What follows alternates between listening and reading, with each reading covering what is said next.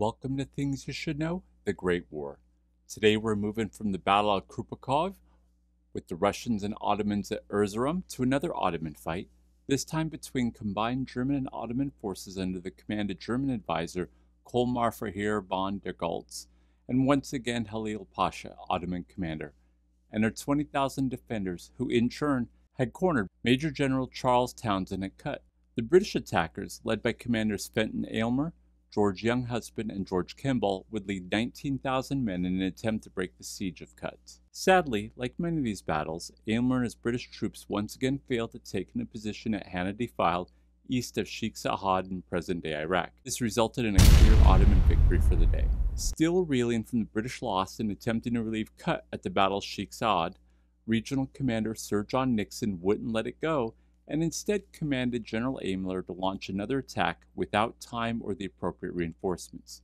In fact, he demanded the attack be done within a week of the loss they had already suffered. A lot of this decision was based on a racist view that Ottoman soldiers were ill trained and not as capable as British, other words, quote unquote, white troops, and that Aylmer's 10,000 men combined with Townshend's men trapped in Kut wouldn't have a problem.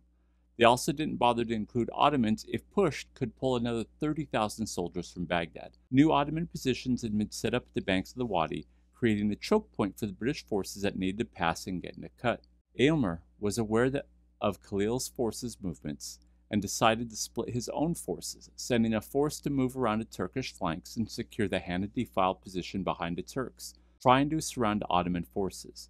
He would rely on the 28th Brigade to launch the main frontal attack and use the rest of his troops to flank. It should be noted that Aylmer did not have maps of the area and didn't know the terrain or any of the important land details for such a complicated attack.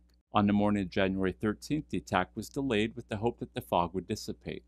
This resulted in the attack not being made until early afternoon and any element of surprise being lost. Kemball moved his troops in a direct frontal attack, and Younghusband moved around the flank, spreading out their troops and losing its advantage of a successful combined attack. In addition, the lack of maps resulted in a front group of British soldiers becoming lost, and the Ottoman forces realized this and began to shift their position and cut off the soldiers and start breaking the back of the attack. By the end of daylight, the 28th Brigade had completely crushed and repulsed by the Ottomans, and none of the flanking maneuvers had reached their goals.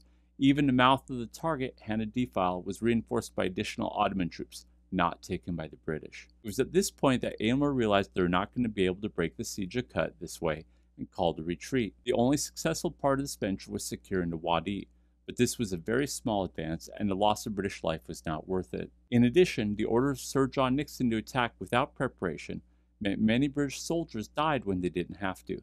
There were no medical supplies and many troops died due to lack of treatment or movement back to the British lines for safety. Final casualties were at least 1,600 dead and wounded British and an unknown number captured. Meanwhile, the biggest estimate of Ottoman losses was 527 killed, wounded, or captured, but this is only an estimate. Join us again next time on Things You Should Know The Great War.